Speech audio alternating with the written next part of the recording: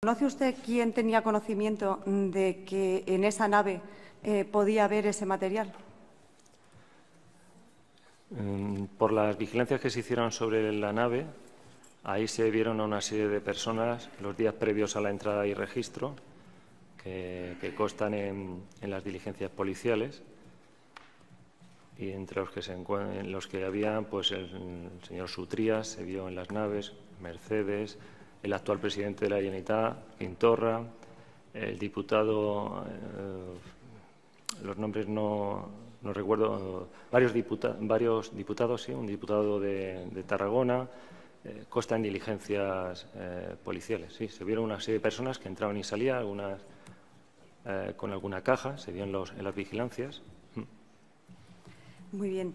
¿El registro pudo practicarse en el interior de la nave con normalidad? Sí, el registro se realizó con total normalidad. ¿Hubo algún tipo de objeción eh, u observación en cuanto al alcance del registro eh, por parte del titular o de, y de su letrado que le asistía? No.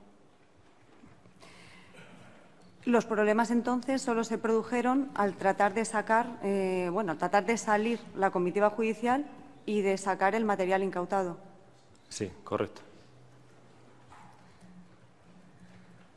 Em, dígame una cosa. Eh, ha relatado cómo eh, los mozos de escuadra eh, pudieron mediar con relativa facilidad con los concentrados. ¿Ustedes pudieron mediar con ellos? No, no, no. Nosotros era impedirnos la salida. Em, ¿Cuál era, por qué no pudieron? ¿Fue por su actitud? ¿Porque no había posibilidad de diálogo? Porque la actitud era de no dejarnos pasar de, no dejarnos salir. Sin posibilidad entonces de entablar ningún tipo de, de, mediación. Ya le he dicho que la consigna que se escuchó decir a este joven, que parece que es el que organizaba, era no nos movemos hasta que lleguemos su de escuadra. Y así, y así sucedió. Ninguna pregunta más.